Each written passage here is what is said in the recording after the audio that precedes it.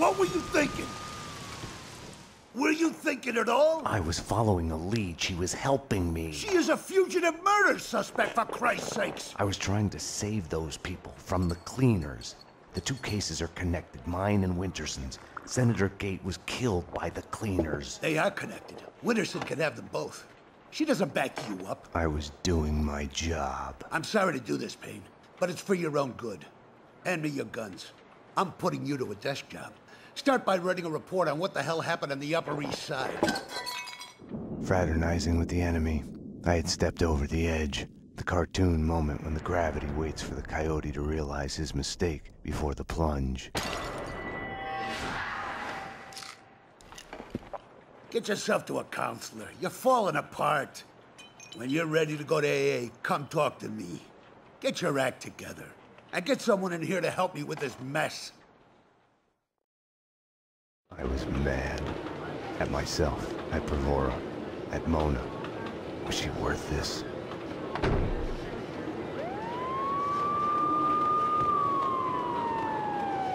It was all connected. The murder of Senator Gate, the cleaners, the inner circle, Vinnie Gognitti. I had to make Winterson see it. Winterson's phone was ringing. She wasn't at her desk. Winterson's phone.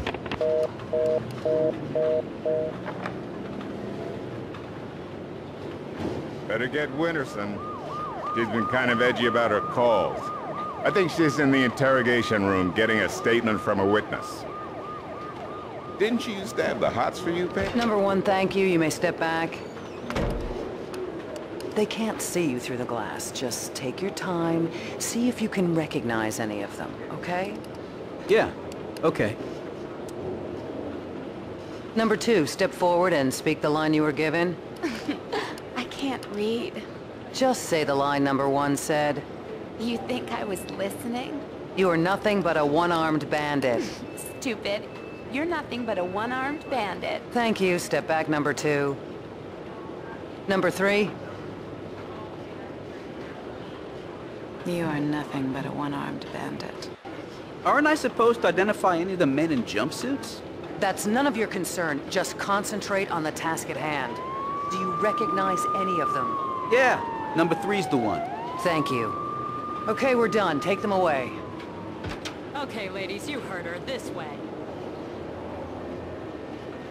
You can wait here. Someone will come to get you once the paperwork is done. I tried to help you, Max, but you didn't listen. Now it's too late. Detective Payne, anything you'd like to add? As I was trying to tell the other detective, the place was crawling with guys in gray overalls. They sure as hell weren't cleaning the place. But she wasn't too keen on listening to me. They're taking the fall. Both of them. Payne was with her when she was arrested. Who are you talking to? You're leaking information. Bravura's too soft on you. I was informing the proper authorities on what they should know. Stay away from my case, Max. Stay away for your own good. Everything had started out as black and white. Somewhere down the road, the line went blurry. The colors started to run, got smudged and gray. Winterson had been above my suspicion. It felt like a goodbye. I were you, I'd go to my desk and at least pretend I was doing what I told. The lineup was done. Mona was back in her cell. The cells were downstairs.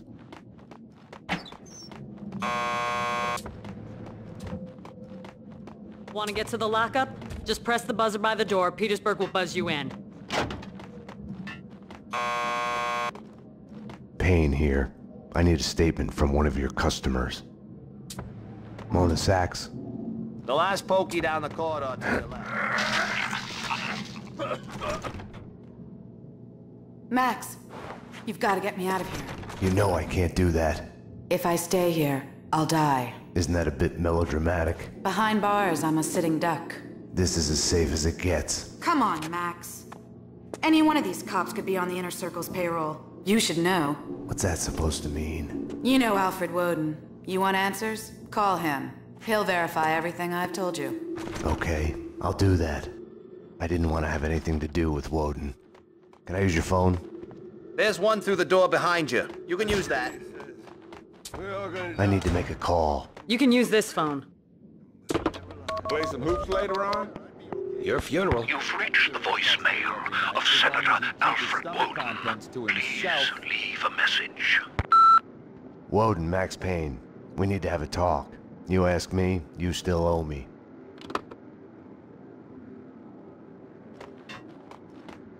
Jesus Christ! Bomb? That was a bomb! Upstairs, now! Jesus! Upstairs, now! Something was off. Mona's words on her babysitting duck kept playing in my head. The bomb had misdirection written all over it. Drop it! Armed perps in the lockup. Officer down. Take him down! Find the bitch! Find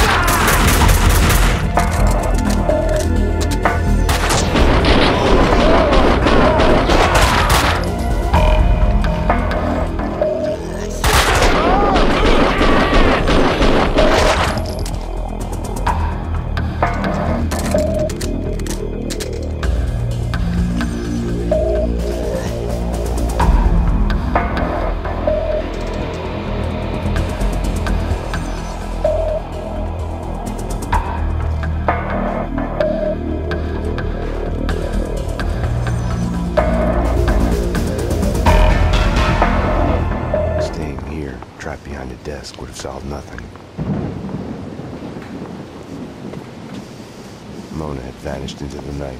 Without her, I had nothing to go on. I knew where to find her.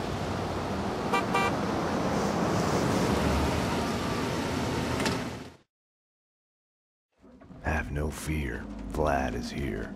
The world was getting too small for comfort. Too many coincidences. Bang! You're dead, Max Payne. A giant-headed Captain Baseball bat boy costume lay in the back seat. Gearing up for Halloween? Max, dearest of all my friends.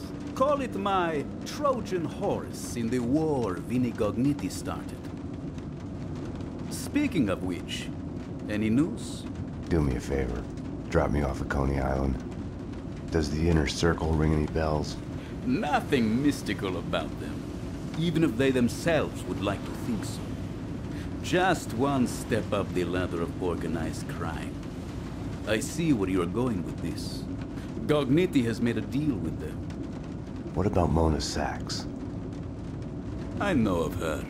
Her reputation as a hired killer. I hear she is a stone fox. I would fuck her.